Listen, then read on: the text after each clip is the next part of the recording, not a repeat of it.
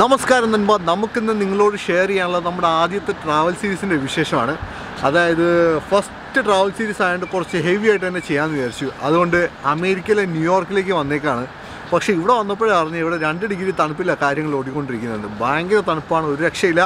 അപ്പോൾ നമ്മൾ ഇവിടുത്തെ വീഡിയോസ് എല്ലാം ഓരോ മിനിറ്റ് വീഡിയോസ് ആക്കി ഇനി ഒരു സീരീസ് പോലെ നമ്മൾ അപ്ലോഡ് ചെയ്തുകൊണ്ടിരിക്കും നിങ്ങളുടെ എല്ലാവരുടെയും കട്ട സപ്പോർട്ട് വേണം. അപ്പോൾ താങ്ക് യു